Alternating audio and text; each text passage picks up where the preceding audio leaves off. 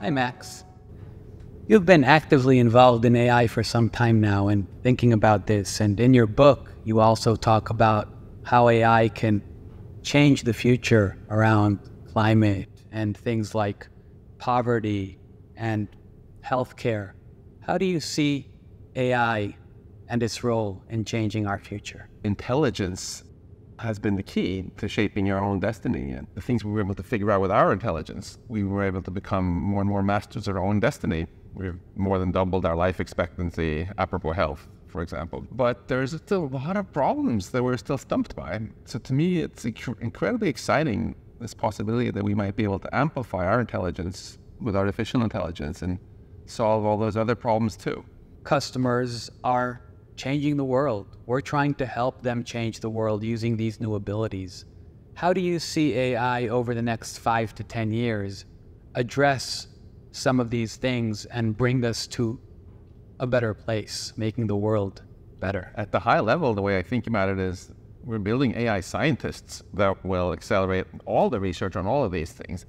We already saw just the other week AI, for example, invented a new antibiotic against antibiotic resistant strains. We've seen the alpha fold AlphaFold triumph where anyone doing anything in medicine where they need to know something about shapes of proteins has a, a new superpower. All of this is bottlenecked by scientific research. And uh, I think that if, if we manage to keep AI safe and beneficial as it gets ever more powerful, what that means is a lot of scientific breakthroughs that we previously thought were thousands of years away, we might get this decade.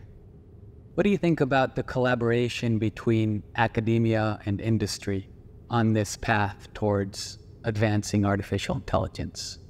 I think the industry can do a lot of stuff which we just don't have the resources for in academia. On the other hand, in academia, we can do a lot of things which just don't really make sense from a business perspective. For example, developing techniques to make the AI really safe and reliable because that's stuff that ultimately should be open sourced. So all the companies use it. So no one is going to, no company will really make a profit off of that. And if it's something that's only going to be useful some significant time and amount of time in the future, also it, it can be hard to justify for a company. Whereas if academia does it, it's great. It just benefits the whole industry. So You're a physicist. Do you think we understand the physics of the human brain? Do we have the tools that allow us to see everything that's in there, or is there something in it, maybe quantum mechanical, maybe otherwise, that we can't really see? Oh, that's a great question. I'm actually both a physicist and also an AI researcher, since that's what I've spent my last seven years working on in my MIT group. I think it's pretty clear that you do not need any quantum effects to build superhuman AI. There's nothing quantum at all about GPT-4, and there's no indication that our neurons in our head critically use quantum effects either in, that it's necessary for you to be so smart. There's this idea of substrate independence, which is, is very powerful, which in plain English just means that intelligence is all about information processing. It's not something mysterious intelligence that can only exist inside of human brains. It doesn't matter whether the information is processed by a carbon atom in a neuron in a brain or by a silicon atom in some sort of other device.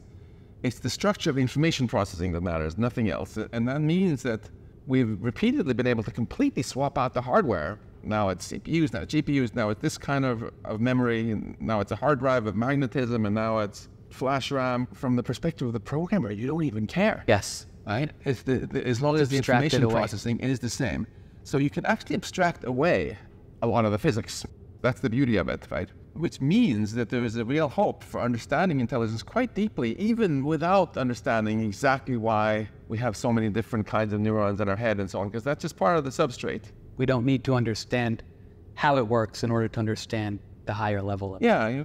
Many hope that this ability to simulate intelligence will allow us to recreate the knowledge uh, creation path that humanity has been on for thousands and thousands of years and maybe fast forward it into the future and accelerate it going forward. How do you see that evolving? Is that really going to be possible? Uh, absolutely.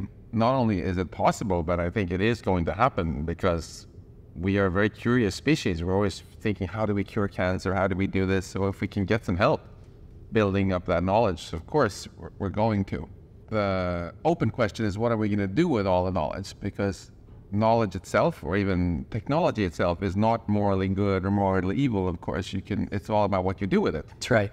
and this is i think where it's so important that we humans use our agency because it is after all us building this that we figure out how we can not only keep control over which way it goes also think quite hard about what optimistic future you know, we're trying to steer towards. Given that we're on the cusp of having these um, this amazing agency what's a future we're really excited about? What's a shared global positive vision that we can all get behind? It's the shared positive vision that's going to ultimately make people collaborate to get to that future. I agree. Thank you, Max. Well, I really appreciate you coming here and talking to us and enjoyed the conversation very much. Thank you. This is really fun.